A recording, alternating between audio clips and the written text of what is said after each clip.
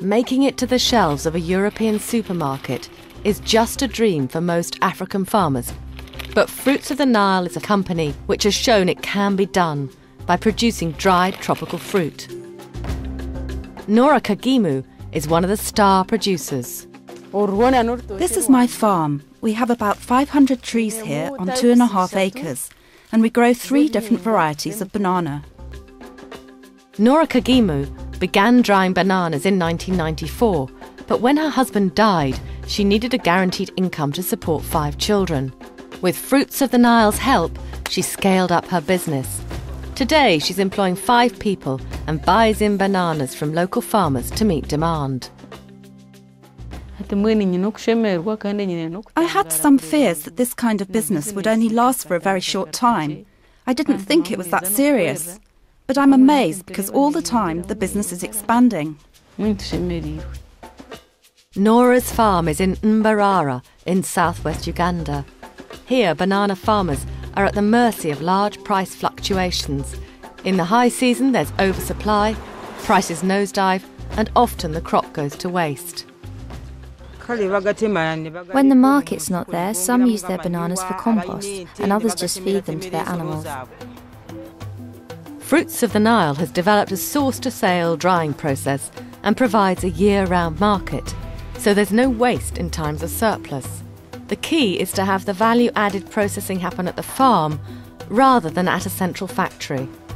The dryers are an appropriate technology, easily built and maintained to keep insects out while letting the sun's energy do the work. No chemicals are used, weeding is done by hand, and all waste is composted. In about two days, the bananas are dry. It's okay. They are ready now. Primary producers have to meet stringent international hygiene standards. Hands and utensils are washed, hair and clothing covered, and once packed, dried bananas are kept safe from any contamination. At first, it was a bit difficult, but now this work is very easy for us. We like the way we wash and the way we dress for work. We liked the work, and now it's become very easy for us to do it. The bananas are delivered to Fruits of the Nile's headquarters near Kampala. Nora makes the 10 hour journey once a month. At the factory, they are handed over for sorting. Now when the product comes into here, we need to inspect it thoroughly. Quality cannot be compromised and uh, the export market requires strict quality measures like what we go through here.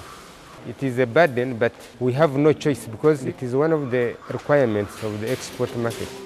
There are three products sweet bananas, chewy bananas, and dry pineapple, sourced from 120 producers who buy from 840 registered farmers. The fruit is packaged and sent by sea to the UK.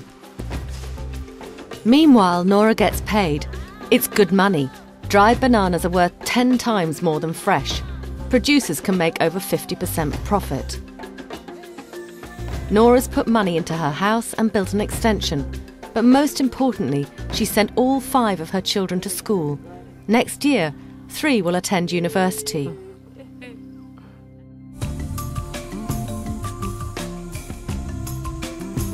Mbarara has been hit hard by AIDS, and many families have to take in extra children from relatives who have died. These carers have joined forces to become a Fruits of the Nile producer group. They donate the fresh fruit and share the processing and the profits. Biingi Lovance cares for her six orphaned grandchildren. I can get books for the children and clothing and pay their school fees. I think their future is bright. If they keep going to school, they will get an education and then they will be able to make something of themselves in the world. It will help them succeed. All of the producers want to sell more fruit, but so far there's a limited market.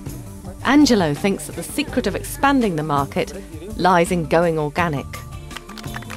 We have high hopes of getting certified organic and uh, we have gone through the first round of inspection. It will mean an increase on the number of outlets and it would mean a sustainable market for our products. we shall be sure that the product will keep selling forever and ever. Fruits of the Nile has got this far thanks to training along the supply chain, from documentation to bookkeeping, and now to learning organic techniques. Good business skills have been introduced all the way from the farm to the head office, and everyone gets a fair share of the profits.